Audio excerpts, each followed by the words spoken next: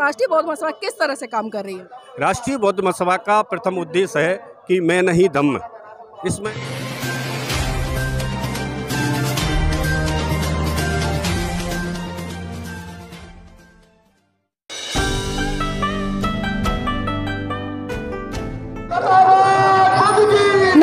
देख रहे हैं NB news twenty four X seven Neelam Bodh के साथ। और साथियों, आज हम आगरा की पावन धरती पर, जहाँ पर कि एक विशाल कार्यक्रम का आयोजन किया गया है। आप जिस तरह से देख सकते हैं कि जो राष्ट्रीय बौद्ध महासभा है, आज उसकी तरफ़ से कार्यक्रम का आयोजन है। और मेरे साथ में बादल सिंह बौद्ध है, उन्हीं से जानना चाहूँगी, सर, इस कार्यक्रम की रूपरेखा क्या है?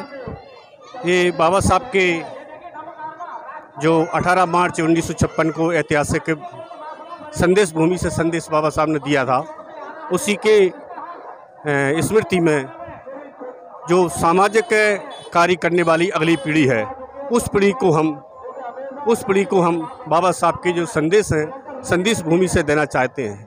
क्योंकि वर्तमान समय की जो पीढ़ी है, वह पीढ़ी बाबा साहब के संदेशों को भूलती जा रही है। इसलिए बार बार हमारे जो कार्यक्रम के उद्देश्य रहते हैं, वो ये भी रहते हैं कि कहीं हम भूल न जाएँ। आप देख रहे हैं, रैली में नौनिहाल छोटे बच्चों से लेकर यूथ तक इस कार्यक्रम में सम्मिलित हुए हैं। और बाबा साहब की संदेश भूमि से, बाबा साहब के जो संदेश थे, युवाओं को, मजदूरों को, खेतीहर किसानों को, भूमिहर मजदूरों को पढ़े लिखे लोगों को, कर्मचारी वर्ग को, ब्यूरोक्रेट्स को, और जो हमारे स्कूल के बच्चे हैं, पूज्य भंतेगण हमारे साथ शामिल हुए हैं। ये भंतेगण बुद्ध धर्म की धरोहर है, जो प्राचीन समय से गॉस्पेल ऑफ़ बुद्धा को संजो के रखते हैं और ट्रांसफ़र करते हैं और समाज में पहुंचा- पहुंचाते हैं। और हम इस संदेश को पूरे विश्व में भारत के लोगों के साथ शेयर करना चाहते हैं। बादल सिंह जी जिस तरह से हम देख रहे हैं कि जो राष्ट्रीय बौद्ध महासभा लगातार काफ़ी सालों से काम कर रही है तो आज यहाँ पर जो राष्ट्रीय बौद्ध महासभा का जो प्रतिनिधित्व कर रहे हैं अलग अलग राज्यों से लोग आए तो कितने राज्यों से लोग आए? लगभग तीस राज्यों से साथी आए हुए हैं जो आप पंक्ति में जुलूस में देख रहे हैं। राष्ट्रवार सबके अलग अलग बैनर हैं। अपने रीजनल से लैंग्वेज में सबके अलग अलग बैनर हैं। इससे आइडेंटिफाई होता है कि प्रत्येक राज्य का यहाँ एक बैनर के साथ, उसका डेलीकेट्स इस राष्ट्रीय बौद्ध महासभा के संदेश भूमि पर बाबा साहब के संदेश को सुनने के लिए यहाँ आए हुए हैं। हाँ, बादल सिंह जी अक्सर हम देखते हैं कि जो बौद्ध लोग हैं खासकर उनकी जो वेशभूषा होती है सफ़ेद कलर की होती है। लेकिन हम देख रहे हैं कि जो राष्ट्रीय बौद्ध महासभा है उन्होंने नीला कलर चुना है। तो इसके पीछे बेसिक कारण क्या है? बेसिक कारण बहुजन समाज बहुत विशाल है जो विशालता का स्वरूप आकाश है। आकाश का रंग नीला है बहुजन समाज भी उसी नीले रंग के साथ एक ड्रेस कोड भारत में चलाना चाहती है। अलग अलग प्रकार के ड्रेस कोड में इस कार्य को किया जाता है। इस प्रकार से जो धम्म सेवक संघ का एक नया कॉन्सेप्ट लाया गया है, जो धम्म माने कि अच्छा मार्ग है, अच्छे मार्ग की सेवा के लिए हम साथियों को एक इस ड्रेस कोड में लेके आए इसका विशालता का स्वरूप है। विशालता का रूप जो हमारे संविधान का भी रूप है और बहुजन समाज का भी रूप है। ये बहुजन समाज की आइडेंटिटी है नीला कलर, इसलिए ये नीला कलर चुना गया है।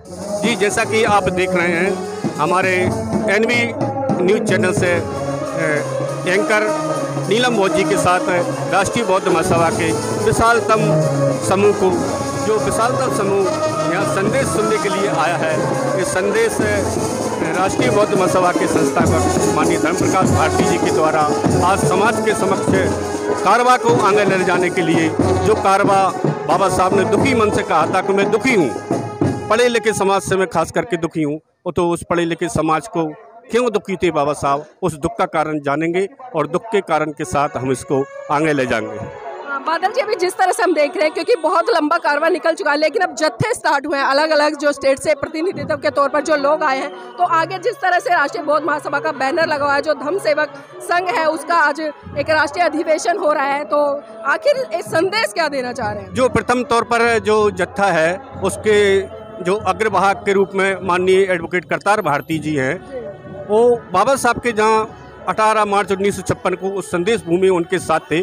उनकी एक पुस्तक भी निकली है। तो ये जत्था एक संदेश देने के लिए राज्य बार आता जा रहा है और पूरे राज्यों में बाबा साहब के इस संदेश को आज याद किया जाता है। और कहाँ कमियाँ रह गईं? बाबा साहब क्या करना चाहते थे प्रत्येक वर्ग को? जो कम्युनल अवार्ड के चलते बाबा साहब उन लोगों को नहीं कर पाए थे, उनके संदेशों के लिए बाबा साहब यहाँ जो कहना चाहते थे, उस बात को राष्ट्रीय बौद्ध महासभा माननीय नीलम बोध जी के चैनल एनबी न्यूज़ के माध्यम से राष्ट्रीय बौद्ध महासभा पूरे देश में पहुंचाना चाहती है। सर हम देख रहे हैं कि जिस तरह से विश्व धम शांति यात्रा उसका भी इसको नाम दिया गया है। तो आज क्या लगता है कि जिस तरह से भारत का जो सिनेरियो बना हुआ है क्योंकि आज हम देख रहे हैं कि कहीं ना कहीं एक सांप्रदायिकता को बहुत बड़े स्तर पर महत्व दिया जा रहा है बढ़ावा दिया जा रहा है। तो इसको रोकने के लिए जो धम के माध्यम से शांति को आगे बढ़ा सकते हैं। धम्म ही नैतिकता है और नैतिकता ही आचरण है। आचरण ही हमारी पवित्रता है। जब पवित्रता के समाज पवित्रता पवित्रता के साथ समाज मानव मानव के बीच असमानता को खत्म करके आगे बढ़ेगा। यही धम्म मार्ग है और यही संदेश देते हुए हमारे जैसे उड़ीसा की झांकी है।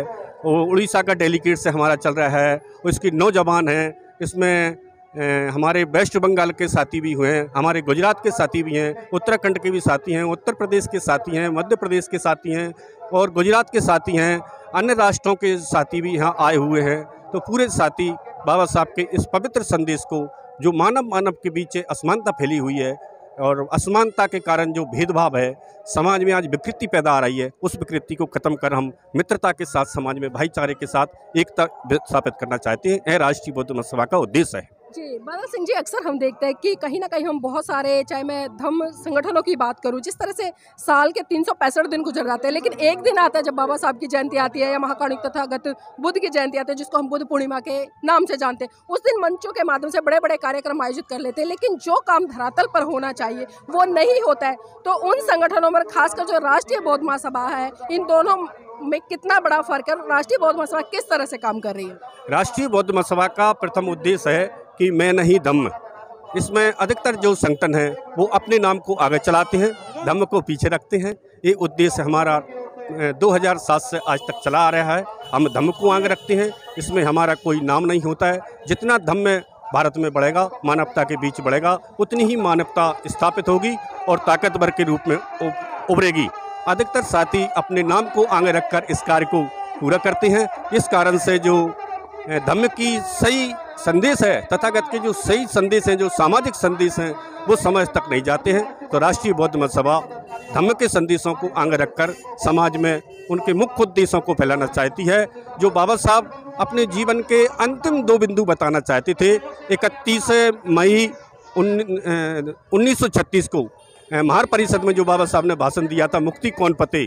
तो मुक्ति कौन पते को अधिकतर संस्थाएँ अधिकतर कार्यकर्ता, अधिकतर समाज और वर्तमान पीढ़ी भूल चुकी है और मुक्ति कौन पते के मार्ग के अनुसार जो उन्होंने जो उन्नीस सौ छप्पन का मार दिया था चौदह अक्टूबर को, उसके अनुसार राष्ट्रीय बौद्ध महासभा काम करना चाहती है। धन्यवाद।